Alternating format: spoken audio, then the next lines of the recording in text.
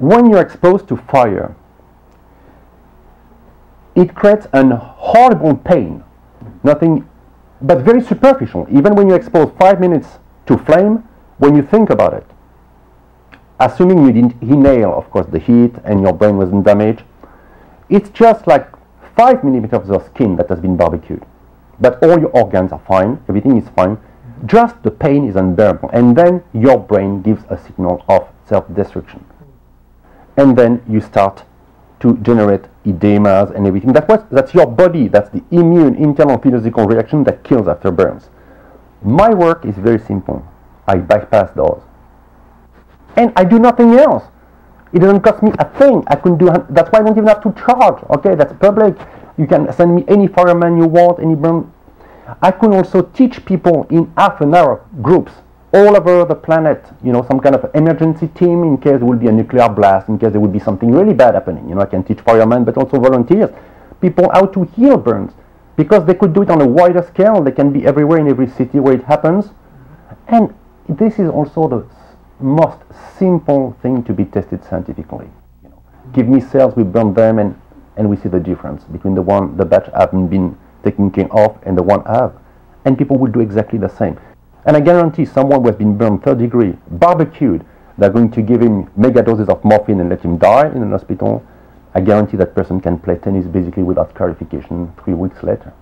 No placebo. They didn't know. They didn't believe in any healer. They were children. Some were under one years old. Uh, that the results were absolutely extraordinary. There were several children that were not treated because the staff at the burn center didn't tell us.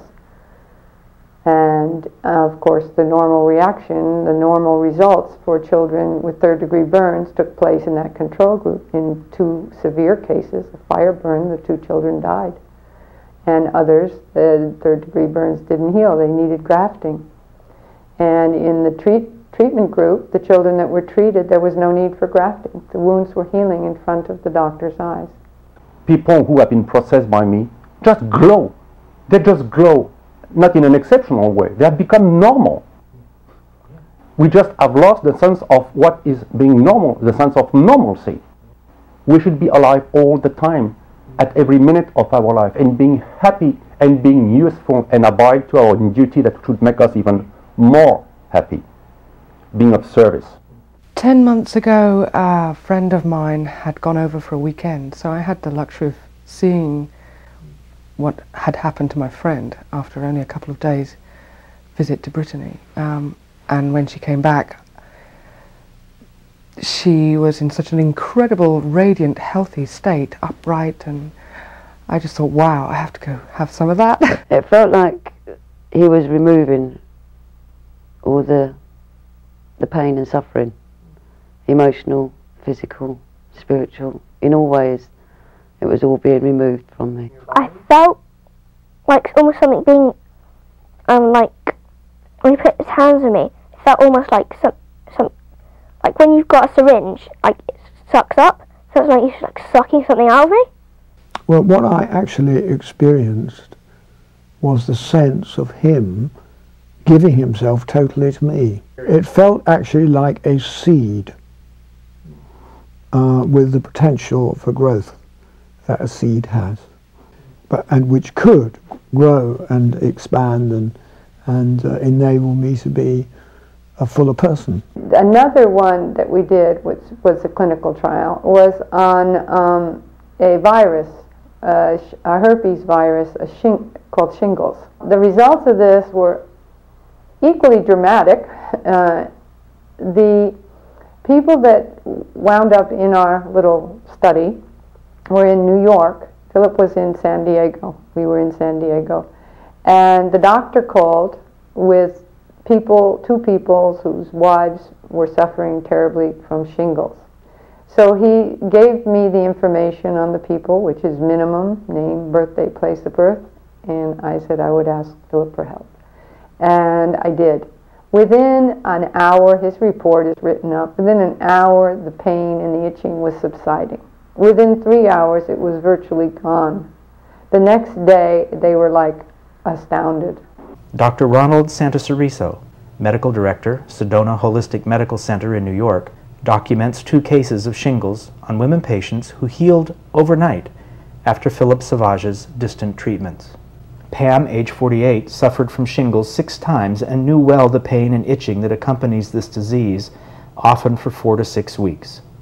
After subliminal treatment from San Diego to New York, she woke up with no itching, no pain, and to witness the scabs almost shrinking before her very eyes.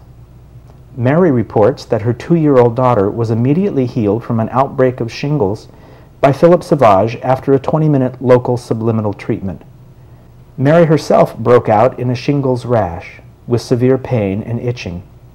This was completely relieved after a five-minute distant processing by Sauvage. This treatment was observed and videotaped by medical doctors and researchers at Scripps Clinic in La Jolla, California. If only you could have one sense more than you have, as I do.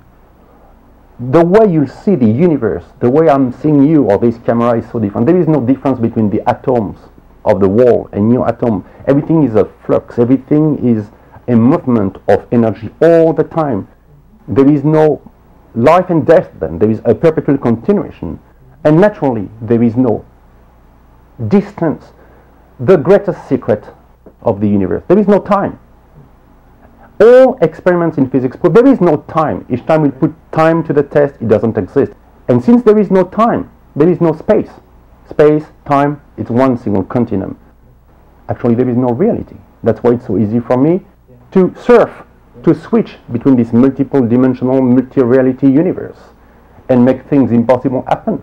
They were impossible in one little reductionistic reality. But in another one, they were so simple to organize. You could do it, anyone can do it. I just happen to be the one right now with a key. Uh, Dr. Sauvage has prepared me sufficiently to be able to deliver this processing with with clients with healthcare issues, um, but not animals. We have someone specifically who takes care of animals and in a death crisis, then they, they go to Dr. Sauvage. What I'm witnessing is whatever is unique. The qualities they have are enhanced. The deepest, truest aspect they may have, may have or may not have encountered in their lives is what surfaces. A cleansing of deadwood, if you like, on every level. It really, on mind, body, spirit, every level it seems to go through this cleansing. And I've witnessed this now happen with so many people, two of which were people who were dying and who aren't now. I'm a medical doctor of internal medicine in practice since 1983 in Montgomery, Alabama. Mr. Crump had been a patient of mine for over 20 years. In 1991, he was diagnosed HIV positive. According to Mr. Crump's laboratory history, his viral load fluctuated between 7,025 and 97,000 copies. In the spring and summer of 2004, tests show a dramatic decrease to less than 50 copies. There has been little or no significant variation in Mr. Crump's medication regime for the past two and a half years. Dr. Lawrence T. Williams, November 3, 2004.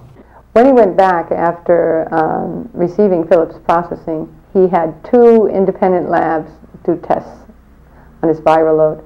And his viral load report came out with this significant decrease from 37,000 down to less than 50 copies.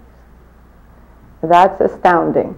You're healthy when you're happy, you're happy when you're on duty, when you are one with the divine and with yourself. To me, that's the definition of health. It's a proactive and what I've called at one point healthening, which means a dynamic of health. Not just being perfectly sound, powerful, young also. I mean, what are those free radicals? Who said we're supposed even to die? We die because we are too many and we have lost the key. But that's not necessary at all. It's a way by which nature is getting rid of too many.